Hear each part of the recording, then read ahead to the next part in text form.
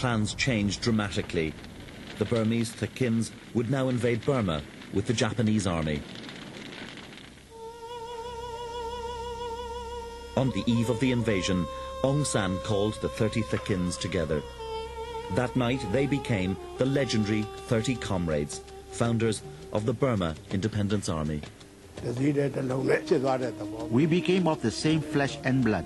We had to recite an oath saying we were prepared to sacrifice our lives for our country, our people, and our army.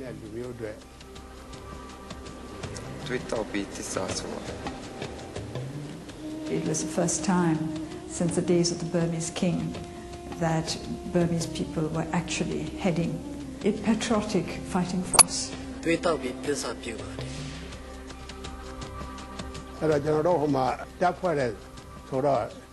When the British heard about us, they sentenced us to death in our absence.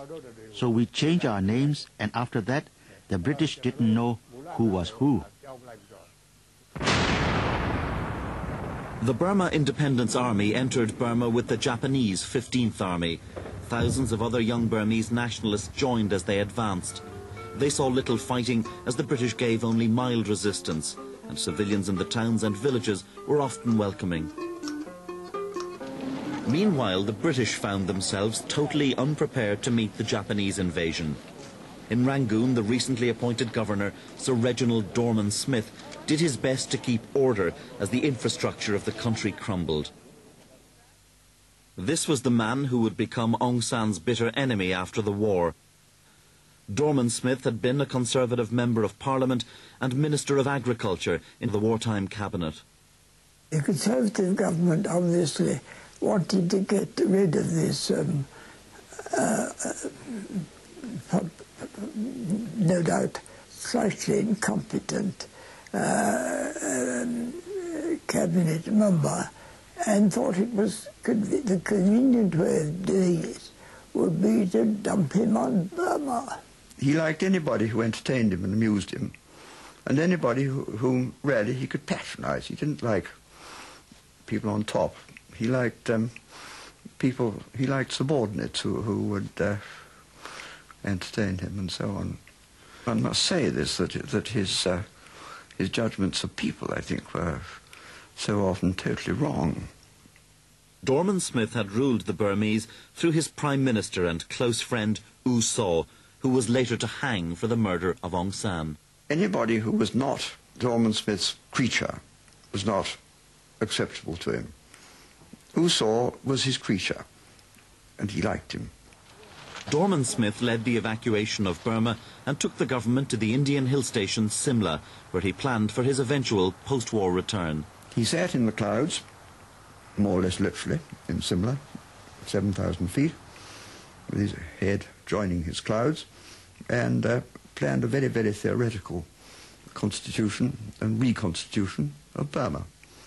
In a nutshell, um, and none of his plans came to anything because um, the war ended too soon and, and uh, the political situation was such they were just totally impractical.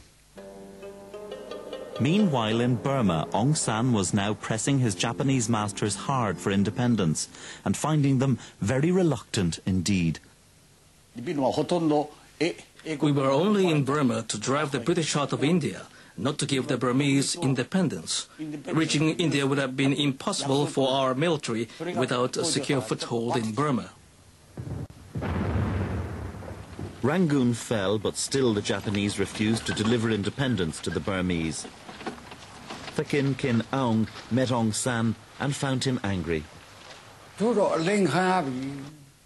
We are being cheated. That's what he told me. The Japanese have broken their promise, he said. We could have rebelled then and there, but we thought again. Even though we in the leadership were not satisfied with the Japanese, the Burmese people were at that point quite content.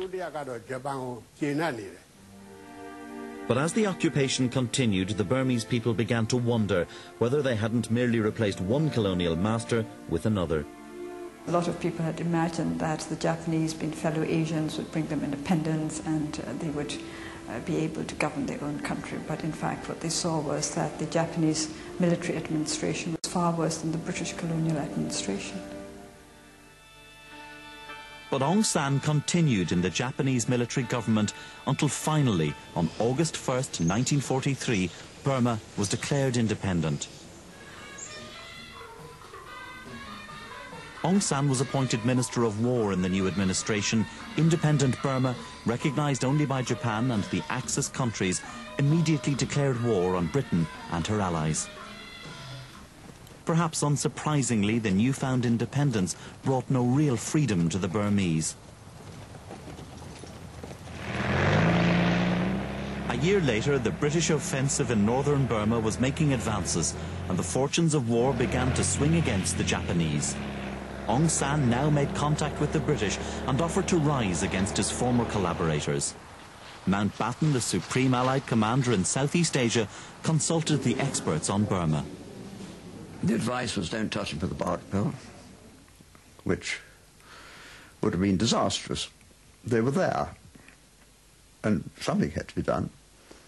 Um, and the reason was there were a lot of uh, anti-British um, communists and undesirables, and, and uh, the moment that uh, that uh, they've done their job against the Japanese, they're going to turn on us. Anthony Eden, then Foreign Secretary, wrote to Prime Minister Churchill, Surely we should not boost these people so much. They will give us great trouble hereafter. Churchill replied, I cordially agree with you. But Mountbatten took his own line. Mountbatten understood that my father was a force to be reckoned with within Burma, and uh, I, I, think he also uh, accepted the fact that the Burmese army could be of considerable help to the Allied armies. Churchill wrote in his diary some weeks later, I hope Mountbatten is not going to meddle in Burmese politics. Mountbatten uh, uh, told me that uh, he had to be very careful uh, to prevent uh, the line he was taking on his initiative from getting back to uh, Churchill in London because he's quite certain that Churchill would then give him the sack. At midnight on the 27th of March 1945, the rebellion went ahead, and some weeks later, Aung San crossed the Japanese lines to make direct contact with the British. General Slim later vividly described in his war memoir how Aung San justified his defection to the British as a response to Japanese ill treatment. Go on, Aung San, I said. You only come to us because you see we are winning. It wouldn't be much good coming to you if you weren't, would it? he replied, simply. I could not question the truth of this. But there is evidence that Aung San was planning to defect as early as mid-1943, long before the tide of war had turned against the Japanese. British intelligence in India were informed by their agent, Major Seagrim. Seagrim was the British leader of the Karens in, in uh, the hills to the east of Burma. And uh, he had a first-hand report that Aung San in 1943 was prepared and preparing to turn on the Japanese. Nevertheless, the view of Aung San as a Johnny-come-lately persisted. The general impression in the British forces of uh, Aung San and his merry men was that they had jumped on the bandwagon at the very last moment, and therefore, although we had to treat them with respect and this and that, they weren't really, um, they weren't a big deal. In May, the British recaptured Rangoon and accepted the Japanese surrender. Aung San set about integrating his forces, now called the Anti-Fascist Organization, into the British Army for continuing the war against the Japanese. For at that point, their total surrender still seemed a distant prospect. Then, everything changed.